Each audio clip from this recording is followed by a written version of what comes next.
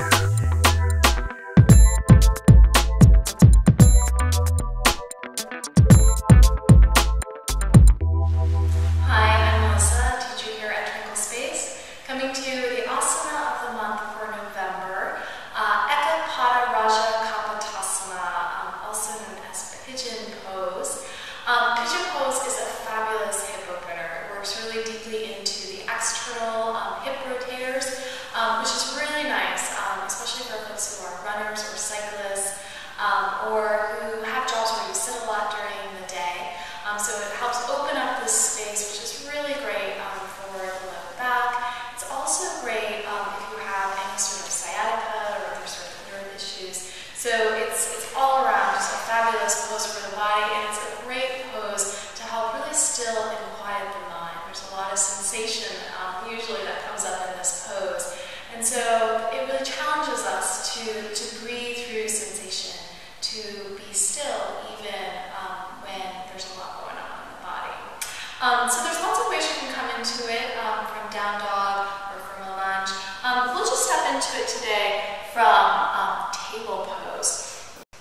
So you're going to bring the knee um, basically behind um, the wrist. So in this case, I'm working with my right knee, so right knee behind the right wrist.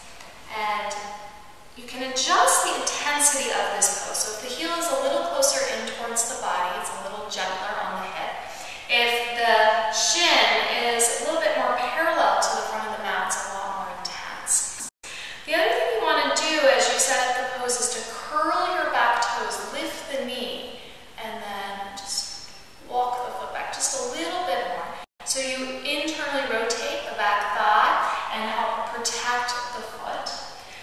then inhale, lifting up, open the heart. So a little bit of a back bend here. And then exhale, fold forward. And you can release your arms out in front, let your shoulders be soft. Keeping a little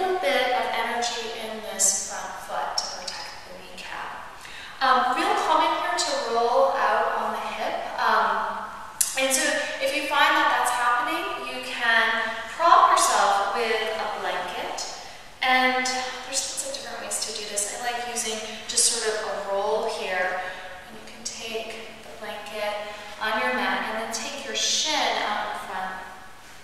And basically you do the same thing, right? And then the blanket is supporting the hip and then the back thigh as well as you fold forward. So this is a great option. Um, other things you can do to um, protect the knee and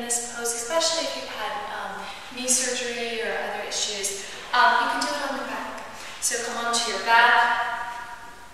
Take ankle over knee, knee out to the side, and then just draw the thigh in towards the chest. So you're getting the exact same spot, but doing so without any pressure on the knee. It feels really nice.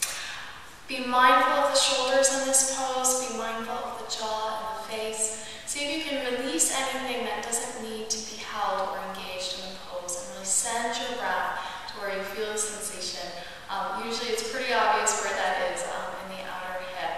Um, you can hold anywhere from 30 seconds